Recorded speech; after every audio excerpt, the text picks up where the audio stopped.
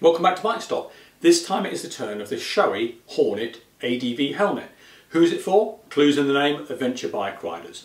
Why? Style, features, but of course protection. So, safety first. A fiberglass shell, it's actually the Shoei AIM Plus shell, that's advanced integrated matrix with six layers of fiberglass. It is a multi-density expanded polystyrene liner which is for impact absorption. There is an emergency quick release system here to remove the cheek pads fast. Comfort comes from a very aerodynamic but useful sunshade peak here. Vents, you've got chin, top and automatic exhaust vents at the back.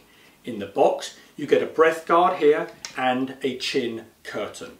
All the pads as you'd expect are removable to help with fit and hygiene. There is a bonus of four shell sizes so it always looks good. Till next time, thanks.